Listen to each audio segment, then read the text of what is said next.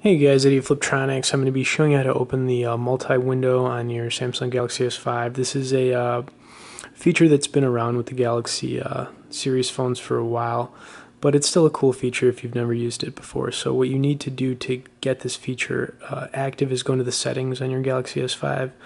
Once you're there, scroll down to multi-window, and then you're going to want to slide it over like so. And then a little uh, thing is going to pop up right here that you can open up. So basically you want to drag um, any two uh, windows on here and you can basically combine them. So like let's say I want to look on the internet checking out Yahoo News but I also want to you know open uh, some music up or whatever you can do that.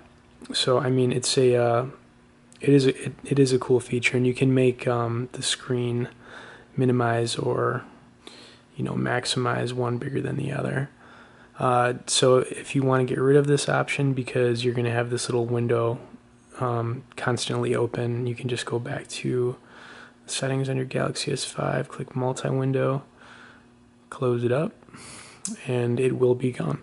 But anyways, guys, it's definitely a cool feature for uh, you know multitasking. I've used it quite a bit before, but anyways, thanks for watching this video. Stay tuned for more on the Galaxy S5 and be sure to subscribe to our channel.